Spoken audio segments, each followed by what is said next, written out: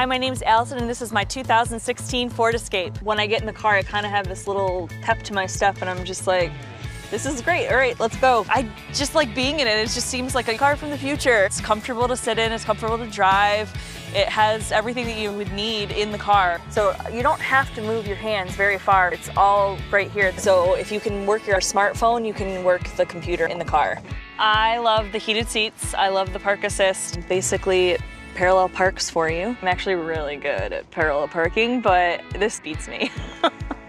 I love the sunroof, which is amazing, and I love it because it's actually all the way to the back. Another thing I actually found really cool is a lot of people don't know is there's no gas cap on it, which is really awesome. Just put your gas in and then go. The first thing I liked was the shape of the car. I thought it was really sleek and modern and I just liked the way it looked. I also like to take my dog places. We go to the beach and I take him hiking, so it's nice to have the big uh, trunk. I can put him in the back and he fits there really nicely. But mainly it was the power behind the car. I felt like this car has a really good getup and that's one of the reasons I actually switched cars and switched companies is because I wanted a car that would go when I hit the gas. Blind spot monitoring is probably my favorite thing that I realized I have on this car and it's showing right now that there's someone in my blind spot so it's not safe to get over. I find traffic changes very quickly so even if you think you know where all the cars are around you you're not always right. So it's just little tiny touches that make this car that much more fun. I definitely love driving this car. I want to drive it all the time.